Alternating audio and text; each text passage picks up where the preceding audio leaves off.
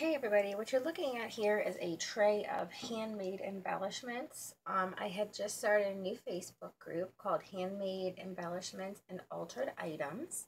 So I also run Paper Crafters United. So come on over and check out those groups. I will um, leave the description, I mean the link to both in the description box. I am starting a store called Bling and Beauty and I was playing around with some things. Um, I hadn't sealed this bag yet because I was still kind of playing with it, but one of the items I'm going to be featuring in my store is going to be called a bag of beauty. I'm trying to get this. And in a bag of beauty, you're basically going to get um, bling and flat backs and um, larger pieces, um, little pearl sprays, and just really pretty beads. This is just a example. This is definitely not, um, you know, this is just kind of like a prototype. This is not set in stone.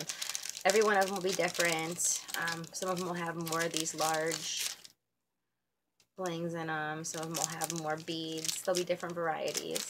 But I just wanted to kind of share that with you guys.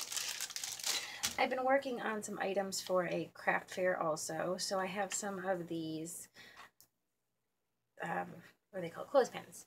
And I had put fabric tape on there and I had added some of my paper roses, which I'll be selling paper roses in every color at my store also. And I also have a set packaged up here.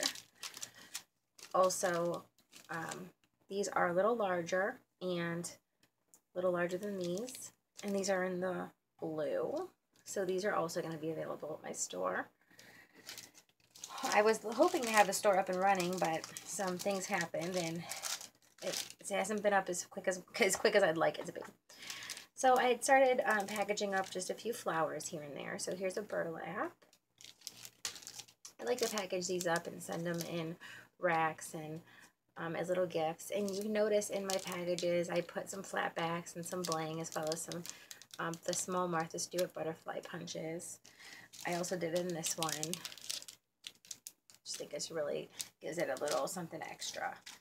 Um, here's just a little card folio that I made. It's just um, got one of my fabric flowers and it says smile. And just open it up and it's got five cards and gold foil and then the envelopes. Oh, let's see. I started this and I haven't finished it. It's just a dress I have fussy cut out and I'm going to be altering. I just did some gold glitter down here and some bling around the edges. So this is unfinished, but it was in here. This is unfinished also. I still have to do the center. I had started uh, this flower and then I went ahead and did some gold glitter on each of the edges.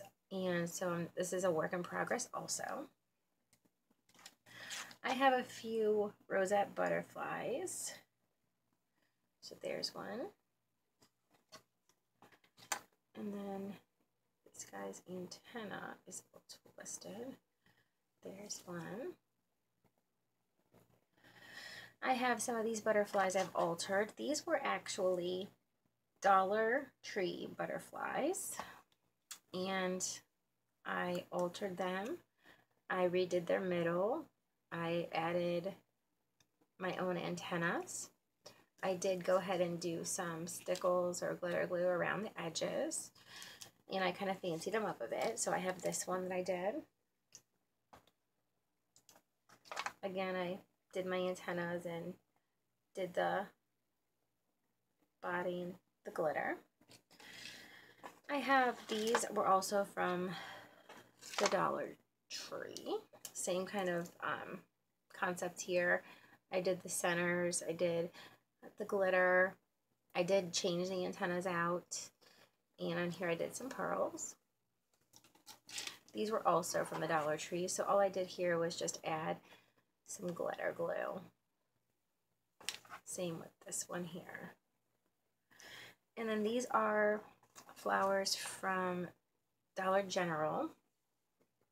And I took the center out and I noticed that the layers are these are actually fabric, but they reminded me a lot of some of the really large uh, Prima paper flowers, just the way that they laid and looked. So I layered them back together. And then I made this flower center here with some beads. And then I went ahead and did some glitter glue on that as well. So I had some more of these, but we have given some away already. My daughter is three and she likes to give these kind of things away. So that's kind of what I've been working on. Um, I wanted to just kind of share that with you and get word out there that Bling and Beauty will be opening here shortly. I just had a delay. So I'd love to see what you guys are making. Come on over to our Facebook group, Paper Crafters United, or the newest group, as I said, um, Handmade Embellishments and Altered Items. Come share your work. I'd love to see it. As always, thanks for watching. Bye.